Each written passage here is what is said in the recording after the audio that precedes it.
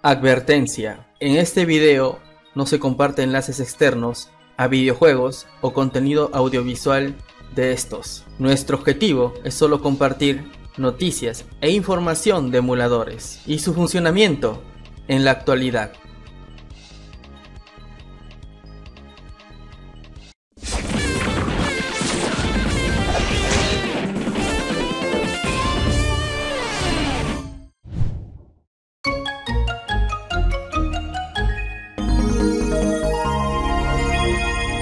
Hola chicos de Immortal Games, como siempre trayendo lo mejor de la emulación para todos ustedes. El día de hoy tenemos un video muy especial, abarcaremos tres temas diferentes. Sí, hoy día hay un contenido muy interesante.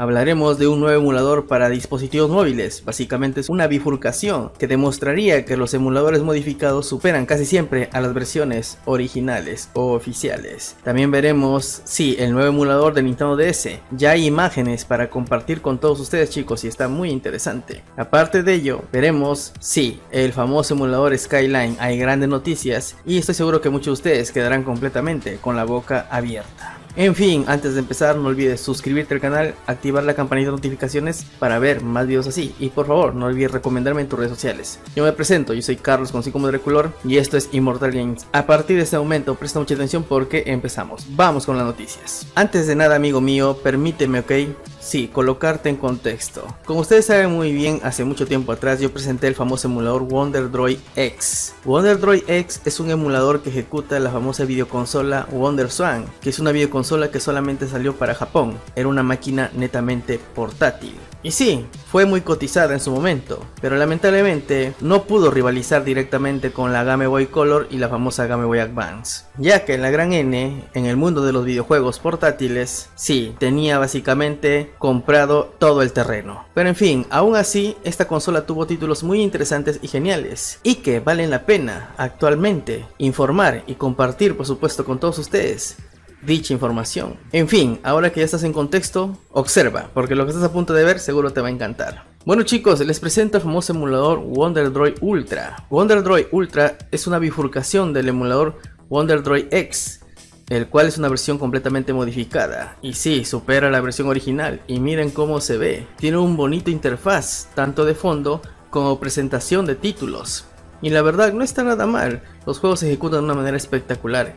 Y esta nueva versión chicos, que básicamente acaba de salir recientemente en pañales, supera la versión original, que ya lleva años en el mercado. Un punto interesante es que corrigieron errores de sonido, y la verdad que la compatibilidad es muy buena. En cuanto a la estabilidad es perfecta. Eso sí, el emulador tiene que seguir mejorando. Pero ¿saben qué? Yo al día de hoy lo puedo considerar uno de los mejores emuladores de WonderSwan con una compatibilidad brutal en Android. Y como pueden ver, sí, múltiples juegos ejecutan sin problemas e inconvenientes. Y lo mejor, que salieron muchos títulos exclusivos para esta videoconsola. En fin, WonderDroid Ultra, un emulador que ha llegado para quedarse. Ahora que lo saben, continuamos con más información chicos. Veamos. Una noticia bomba chicos es la información que presenté la semana pasada. ¿De qué trataba? Quizás digan muchos. Sí, se trataba del famoso emulador DisEmu, y por supuesto solamente compartí información acerca de este sistema OAD. Pero hoy va a cambiar completamente el panorama, ya que tengo que, sí, pruebas de este sistema o aplicación. Y por supuesto quiero compartir con todos ustedes las siguientes imágenes. Observen este emulador. Bueno chicos, como pueden ver, sí, este viene a ser el interfaz del emulador DisEmu. Y como pueden observar, sí, tiene una interfaz ok, muy elegante, muy bonito. La verdad, se ve completamente genial. Podemos ver el logotipo y podemos ver la lista de títulos, ¿ok? Que en este caso, ¿ok? Podemos observar, como lo estás viendo en este ejemplo. Continuemos observando, chicos. Veamos.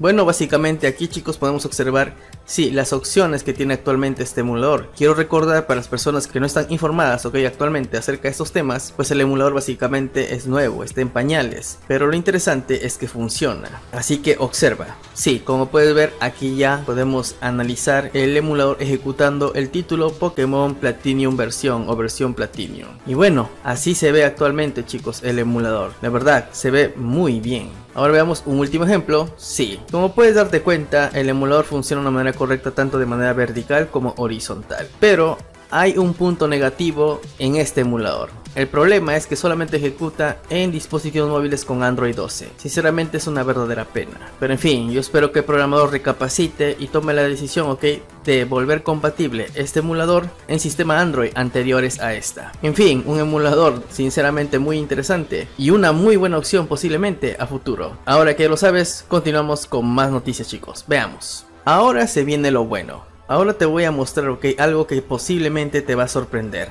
Si ustedes recuerdan, hace ya mucho tiempo atrás, posiblemente hace más de 6 meses aproximadamente, un poquito más o un poquito menos, yo les presenté una lista de compatibilidad del emulador Skyline. Y hoy chicos, voy a volver a compartir esta información nuevamente con todos ustedes, pero estoy seguro que quedarás completamente con la boca abierta. Observa, sí chicos, ya es oficial, actualmente el emulador Skyline es compatible con 1239 títulos y subiendo. Es sencillamente increíble, es sencillamente brutal chicos. Como pueden darse cuenta, el trabajo, la optimización con este sistema hace que el emulador valga la pena. Y voy a ser sincero con todos ustedes, este año 2023 va a seguir sorprendiendo a todos nosotros. Y estoy seguro que superará a EGNS.